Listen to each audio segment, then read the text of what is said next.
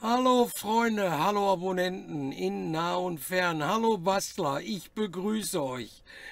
Der Sturm fegt über Europa und Deutschland und hat auch nicht das Diansche verschont. Mein halber Dachfirst liegt vorne auf der Straße neben meinem Auto bei meinem Nachbar.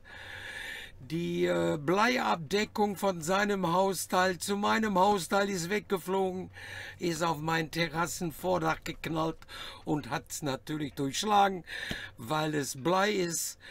Chaos hier und auch Chaos bei meinen E-Mails, aber nicht betreffend des Sturms, sondern ich bekomme in der letzten Zeit vermehrt Meldungen. Diane, kannst du helfen? Mein Atomizer äh, wird nicht mehr von meinem Box, von meinem Mod erkannt. Ist da was kaputt? Kannst du helfen? Leute, ist ganz einfach. Euch fehlt das. Ein Heatsink.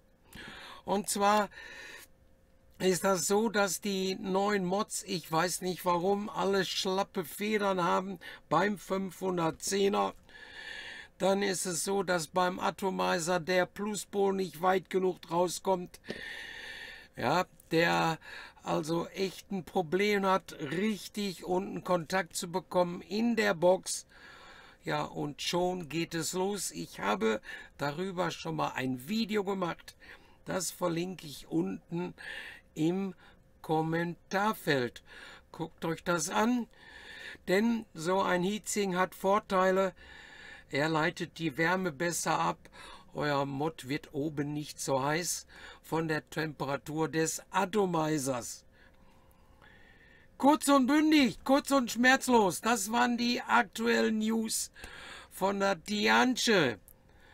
Und jetzt nehmen wir mal wieder mein Laserschwert Nummer 2, die Vamo 9 mit dem Liquid Fieder obendrauf der Next Era und ganz obendrauf das Druid-Tip von Old Sam.